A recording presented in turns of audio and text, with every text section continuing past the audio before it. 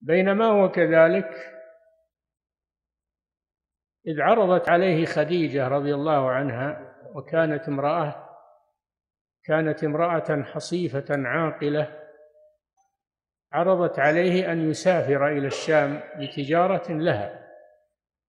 سافر إلى الشام بتجارة لخديجة.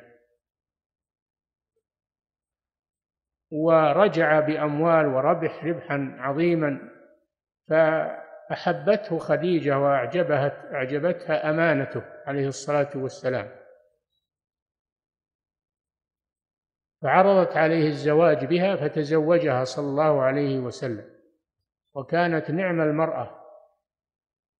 وهذا من تيسير الله لنبيه محمد صلى الله عليه وسلم.